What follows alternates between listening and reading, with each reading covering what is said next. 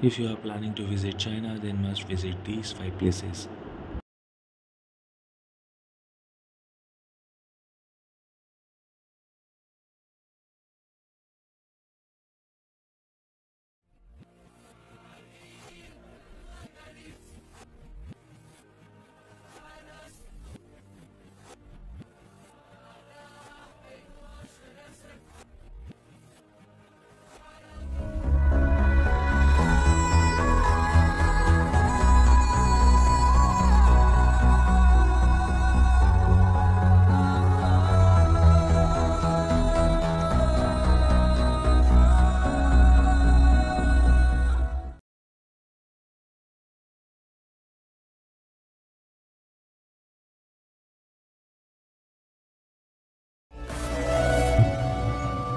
Ne suçu.